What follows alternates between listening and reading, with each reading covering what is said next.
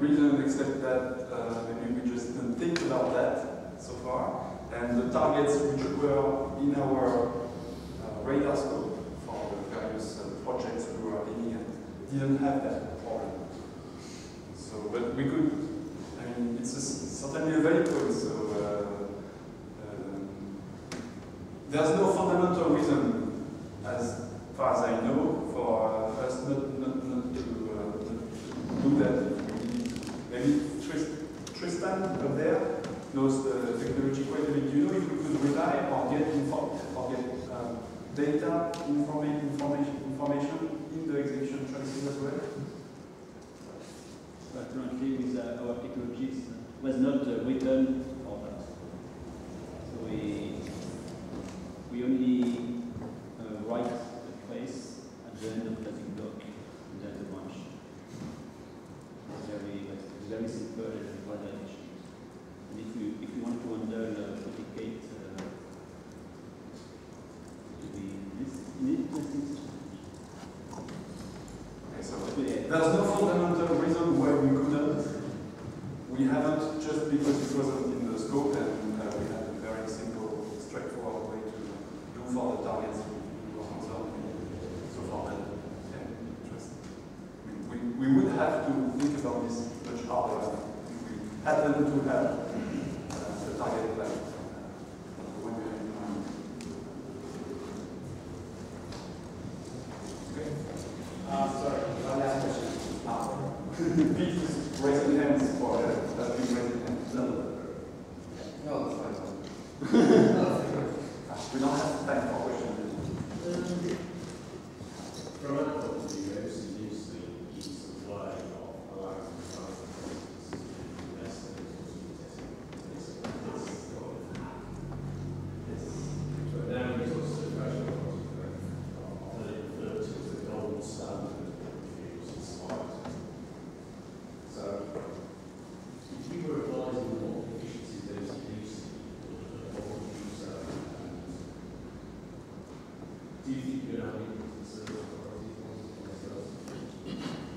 So the question, the, the, the general comment is MCDC, the criterion I mentioned early in the, in the threads is more, is, can be, can be viewed as kind of a hack to prevent uh, having to uh, exercise all the possible combinations, which is combinatorially intractable for software industrial, industrial practice.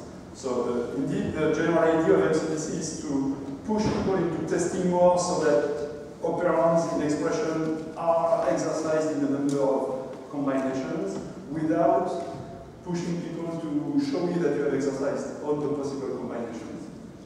So the idea is that the complexity of the criterion grows, and the number of tests that you have to write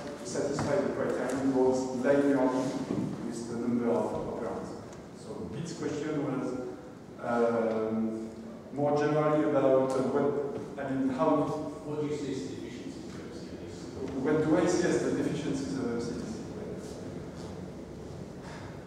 Do you have time for a suggestion rather than a question? Uh, yeah, so why don't we take it offline next week? Yes. Uh, We're already